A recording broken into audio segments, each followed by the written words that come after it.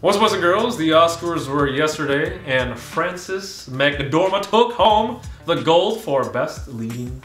Best leading actress in a motion picture movie that came out in 2017. That had moving pictures.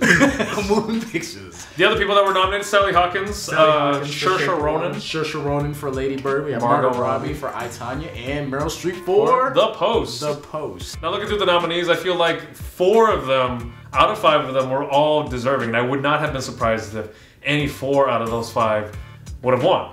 The fifth one being Meryl Streep. I don't know. I think she just got nominated because she's like It's Meryl grandmother. Streep. She's grandmothered in for it or whatever. Wait, But you're opposite Tom Hanks. You got Steven Spielberg movie? get in there, baby, in get in there. But Sally Hawkins having just I don't know a handful of lines.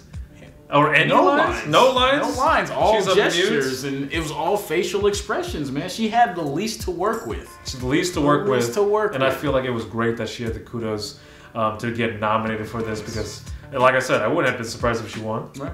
Um, Margot Robbie for I, Tonya. Oh man, I thought she. I mean, like honestly, that was probably my favorite performance out of the the five, just because um, it was intense. Mhm, it was very intense. and like it didn't seem like it seemed like she. I Tonya Tonya Harding was the type of character that just you know was unapologetic in her own right. Like it was because of her upbringing. It was because of you know like her mom was just hard and tough on her, and she made the best out of a bad situation. And I thought Margot Robbie, you could see that frustration and all that pain really brought out in this film. And I thought Margot Robbie did fantastic. On top of looking good the whole time. We also have Saoirse Ronan For Lady Bird. I thought the writing for Lady Bird was better than the characters for Lady Bird. Like, Saoirse Ronan, great. Like, I'm not saying she's bad. I'm not even saying the writing's bad. There's something about how it was on screen. Like, she came off as just annoying mm-hmm. as shit. Like, if I was your mom, I'd be on your case the whole time too. And I guess that was the point of it Yeah. to you know the, the the mom versus daughter clashing constantly all at the same time. I was getting a headache just looking at it. I can only imagine what the the daughters and moms of America or around the world go through when it's this serious, when it's something exactly like this. I thought Saoirse Ronan did well. I wouldn't have been surprised if she won, but I don't think she was my top for winning. She was probably like right above Meryl Streep. Hmm. So not that high. Not, I mean, So she's four out of there. five. yeah, yeah, yeah. not that high. No, no, no, no, no, not at all. But in the end, Frances McDormand. she takes home the gold for three billboards, and it's funny because like Sam Rockwell wins Best Actor. Best Oh, supporting best- sorry, actor. Best Supporting Actor. Uh, Woody Harrelson's uh, nominated for Best Supporting Actor, and then she takes home the gold. This movie has just some great, great acting in it, and I feel like I've heard some people complain that. This is a character that she always does. She's just playing Right. Frances McDormand. This Right, is right. Who she is. Like, if you saw the acceptance speech at the Oscars, it was great. She was talking about equality and she was um, trying to get more inclusion for, um, you know, women into Hollywood, Right. and it was great. Which, but, was- yeah. but that's who she is, Yeah. and she's very similar to the character that she was playing in Right. Real Boys. Frances McDormand playing Frances McDormand. Playing Frances It's McDormand. amazing. The one thing I kind of have a gripe with with this performance is that she's kind of one range. Like she's just angry Yeah. the whole time.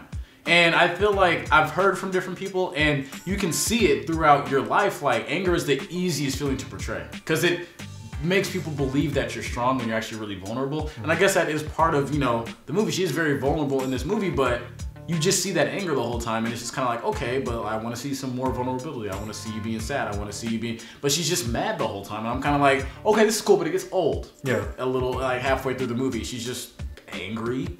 And I mean, I would be too if my daughter was raped and burned and killed and murdered and all this stuff.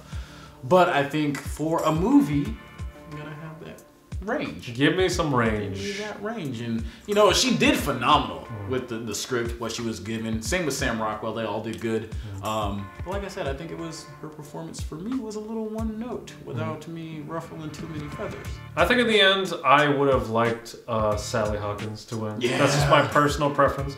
Wish Sally Hawkins would have won. I just loved her performance so much. I mean, um, just taking away her ability to speak and having Right. her try to convey all these emotions, try to convey how she was feeling strictly by her facial reactions, her physical motions, and just signing.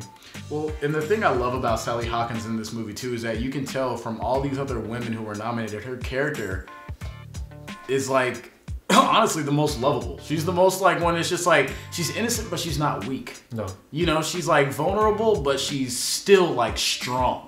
She portrays her being like very vulnerable but strong at the same time, and that's a lot of. In the end, Frances McDormand wins. And Mrs. McDormand. what do you guys think of that? Who do you think should have won instead of Frances, or did you think Frances should have won? Please comment below, talk to us. We love to get in conversations with you guys and see what you guys think because we love just talking movies, man. We love it. We can't just keep talking to each other the entire Come time. on, man. I know you guys saw This these is getting movies. boring. Come on. We're also on Well- Instagram. At Black and Yellow Movies, same exact name. You can follow us, stay up to date on all the things Black and Yellow. We do movie facts, movie reviews. We have our 30 second trailer reactions and 30 second movie synopsis reviews. All of those. All of those Things, things. And we yes. have a plethora of posts detailing some of our favorite independent and foreign films of the past years. So it is the best way to stay up to date on Black and Yellow movies. And like us on Facebook, and we'll see you guys next time.